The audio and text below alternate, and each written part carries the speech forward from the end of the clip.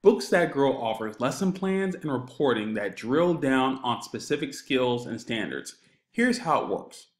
To find lesson plans, let's go to Lessons.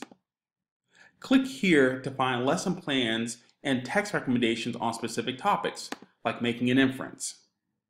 Here we have a model lesson plan with a teaching strategy, recommended text from Books That Grow, essential questions, sentence frames, and targeted standards. Now, after your students complete a reading, they will encounter a quiz, which will include both multiple choice questions and writing prompts.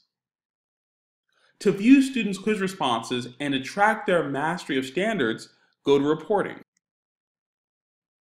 Now, click here to go into a classroom, and to go deeper, click View Student Work. Here, we can see how our student is performing on specific standards.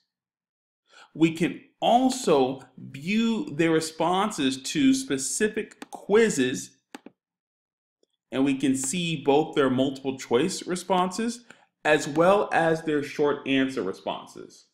Now we see how Books That Grow helps you teach and drill down on specific skills and standards.